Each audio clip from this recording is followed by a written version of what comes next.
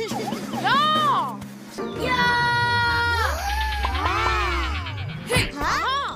think hot gloves are cool too. Go away! Leave the little birds alone! Oh. No way!